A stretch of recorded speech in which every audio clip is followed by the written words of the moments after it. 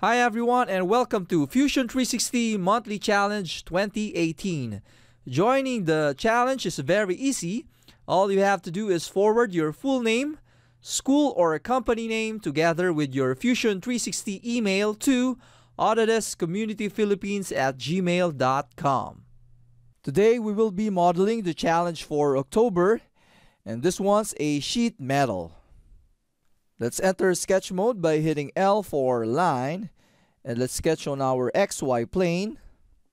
Let's start creating the bottom horizontal line and let's drop the first point at the origin. The length for this line is 133.86. Let's reposition our dimension. Left click and hold, release create a vertical line from this endpoint moving up length to be 28.92 let's move the dimension to the right. Create another horizontal line with the length of 124.94 create another vertical line. Left click here hit escape hit D for dimension Let's select this endpoint and our horizontal line. Left click here to place our dimension. Key in 43.03. Zooming out. Hit L for line once more. I accidentally created a horizontal line and it has a perpendicular constraint so let me select this constraint and hit delete and grab this endpoint Hit D for dimension, select this line and this horizontal line. The angle to be 60 degrees. Create another vertical line moving up. Double left click to terminate the command. Let's create another line here and another line. Hit escape. So these two lines has a relationship of perpendicular. Let's now hit S to grab our shortcuts and typing ARC, selecting three-point arc. Let's create an arc from this endpoint going to this endpoint and left click here, hitting escape. Next, let's create a construction line. I'm going to hit L for line and enable construction. Let's place our first point at the center of this arc and left click on this line.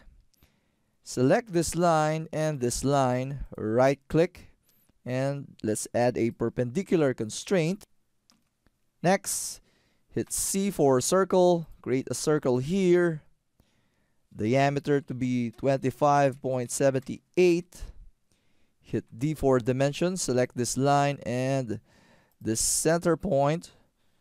Drop our dimension here, key in 31.8. Hitting escape and let's turn this into a solid entity. So disabling construction, I'm going to hit X. Let's hit D for dimension and let's dimension this arc to be 12.9 hitting escape next let's dimension this line as well.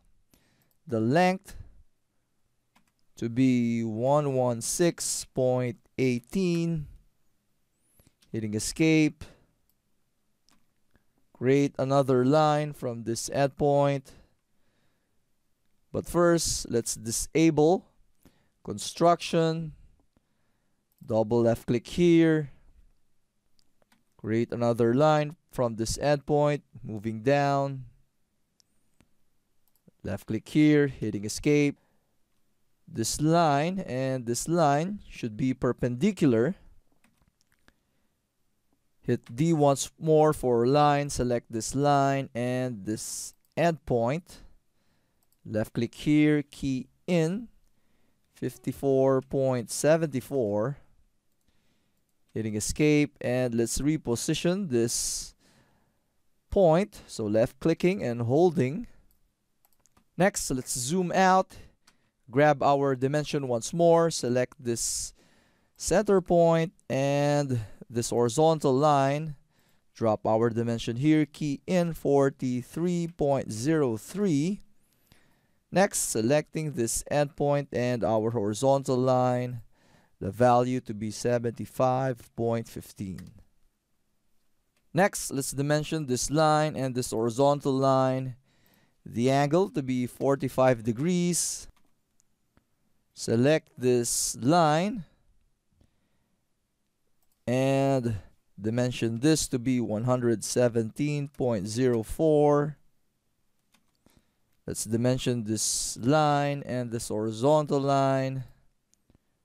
So confirm it's 45 let's leave this as a reference let's inspect our sketch hitting escape and let's move this Let's grab our dimension once more, select this line and this horizontal line. So confirm it's 30. Next, let's create the arc here, but first let's create a perpendicular line. Hitting escape, hit S and type ARC for our three-point arc. Create an arc. Left click here, create our arc, hit L Let's extend this line. So hit S and type EX. Select extend. Extend this. Hit escape. And let's grab the endpoint of this arc and place this on the intersection. We can now hit T for trim and trim this excess line. Hitting escape. Select this line and this arc right click selecting equal let's pull this endpoint up and this line as well hit D for dimension select this line and our center point. Let's drop the dimension here. Key in 116.79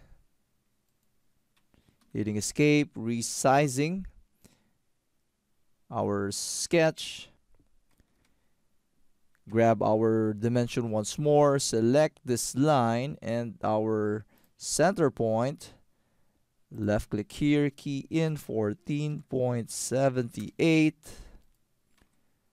Next, select this line and this line. The dimension to be 107. So it turned into black, meaning it's fully constrained. And notice I did not complete the sketch here. My intent is to fully create this initial profile for our flange.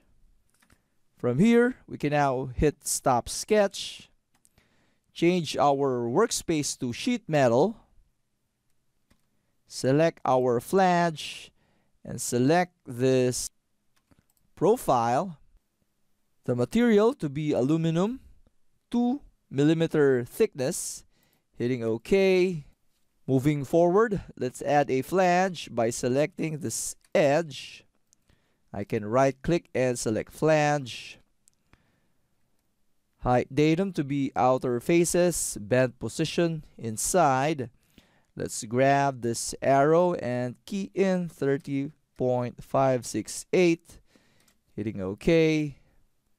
Let's enter sketch mode to create the profiles for our cut extrusion. Let's select this face and hit C for circle.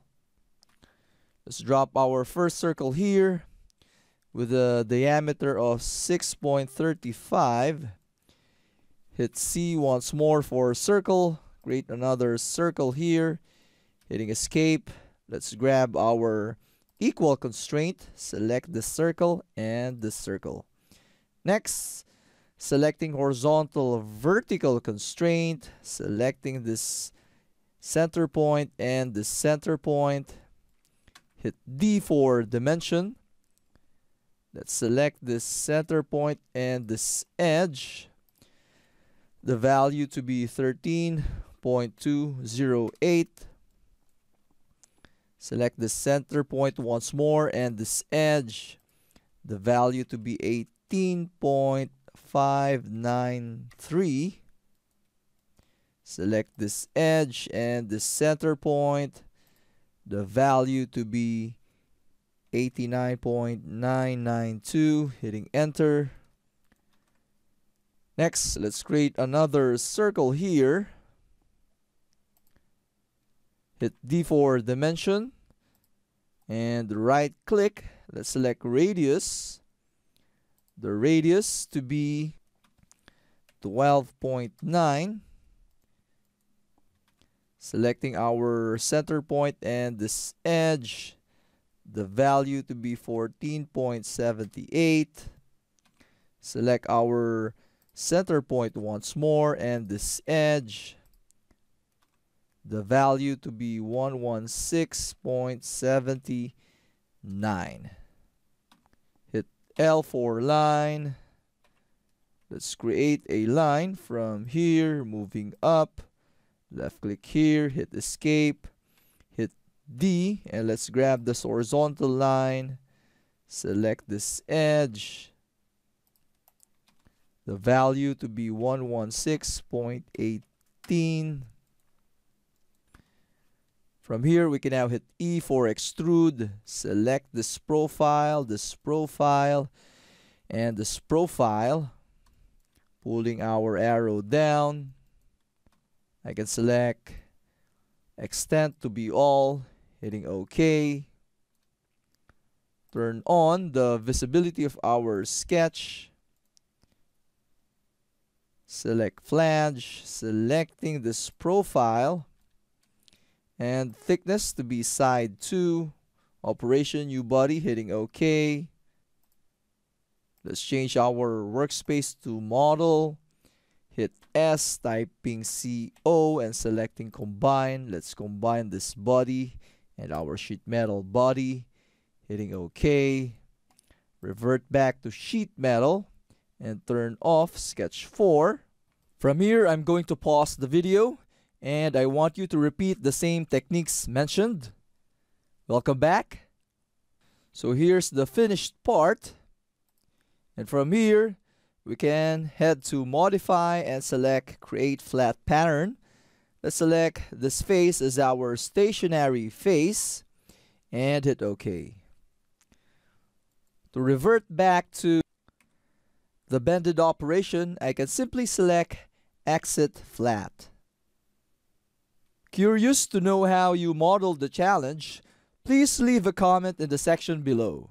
Congratulations and thanks for watching the Fusion 360 Monthly Challenge for October. Lastly, inviting you to join our Facebook group. It's facebook.com forward slash groups forward slash Autodesk Community Philippines.